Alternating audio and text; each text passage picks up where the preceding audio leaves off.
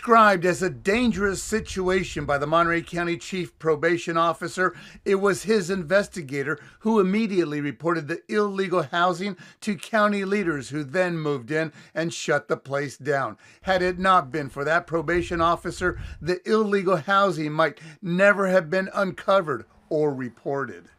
Uh, but we also know there's a lot of fear from the community uh, to speak up because they don't want to be kicked out. Again, like we lack housing, and you know, like people stay in, in housing that is in bad conditions, but it's because there's just a need and there's really nowhere to go.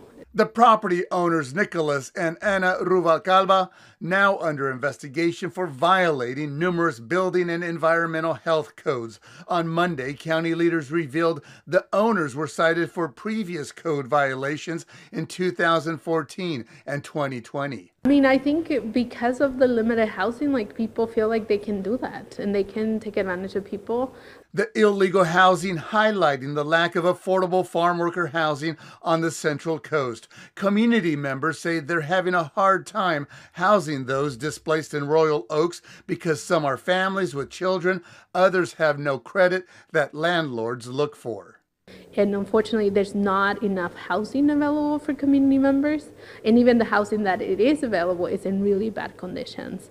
Um, so we just see that overall, it's, it's been extremely difficult for families to find adequate housing that is also at a, at a reasonable price, price that they can pay.